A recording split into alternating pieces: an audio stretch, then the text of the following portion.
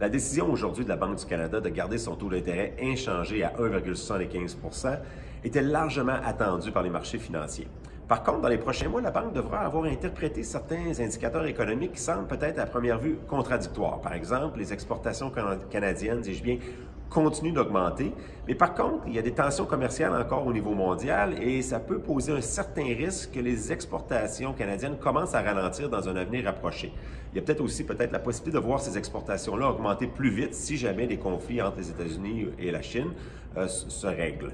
Euh, deuxièmement, les investissements des entreprises sont encore modérés. Par contre, les mesures fiscales annoncées par le gouvernement fédéral vont probablement améliorer la situation à court et à moyen terme. Et finalement, l'économie opère près de sa pleine capacité et malgré tout, l'inflation reste dans la cible de la Banque du Canada. Donc, il faut se poser certaines questions à savoir si les taux d'intérêt doivent augmenter encore et à quel rythme.